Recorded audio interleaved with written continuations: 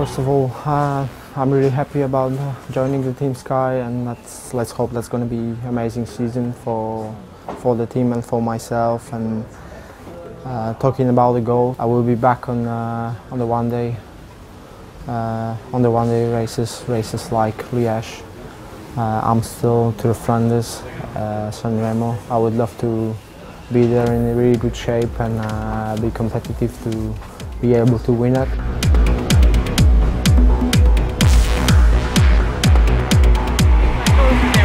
Being the part of this Team Sky, I would love to be as well part of the Tour de France uh, team. It would be amazing to be racing next to Chris Froome, which he won uh, twice the Tour de France.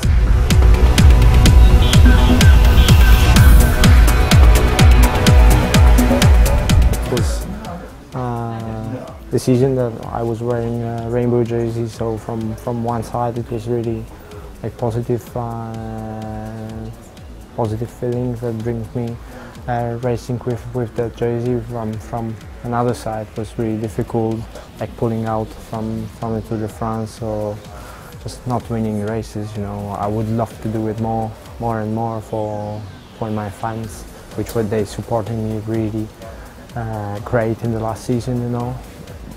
But it was it was season that I, I felt really strong from, but I couldn't want it so much as, for example, in the in the past year. When I pulled out from from the Tour de France last year, that was difficult, uh, really difficult for me, and I don't want to talk about it in the front of the camera. I I would love to say more positive things about my my cycling career, not, not about the bad moments because the cycling is wonderful. So let's move forward and think about good vibrations, you know.